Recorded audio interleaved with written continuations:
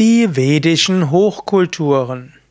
Wenn wir heute die indischen Schriften anschauen, insbesondere die Veden, dort können wir sehen, das waren komplexe gesellschaftliche Strukturen.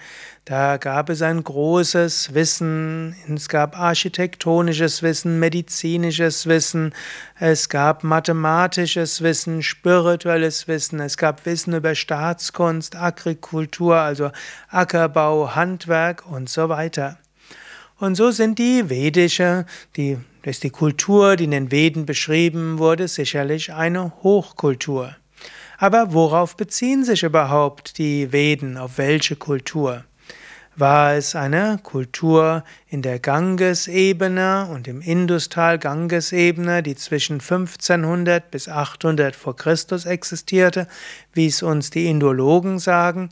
Oder war vielleicht die Indus-Saraswati-Kultur, auch Harappa, Mohendro-Kultur genannt, war es vielleicht diese Kultur, die zwischen dem vierten und dem dritten Jahrtausend vor Christus ihre Blütezeit hatte. Was ist die vedische Hochkultur?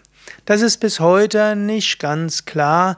Zum Teil ist es auch schwierig, Ausgrabungen zu machen, denn die vedische, also die Induskultur liegt ja im heutigen Pakistan und die Pakistaner sind nicht ganz so interessiert, wie es die die Bewohner oder die Hindus wären, nachzuweisen, dass die Kultur ihrer Veden uralt ist.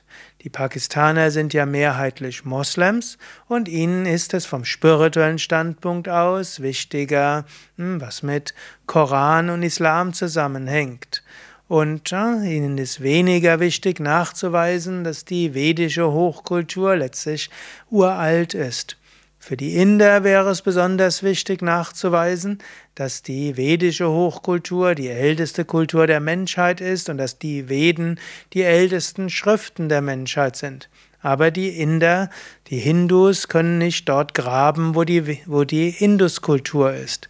Und so ist es bis heute nicht klar. Wo sind die vedischen Hochkulturen? Sind es, wie die Indologen sagen, eine Ackerbau, Viehkultur, Rinderwirtschaft in der Gangesebene? Oder ist es doch die Ebene oder die Kultur in Industal und im Punjab, dem Fünfstromland, wozu dann auch der Saraswati-Fluss dazugehört, der vermutlich um 1800 vor Christus ausgetrocknet ist.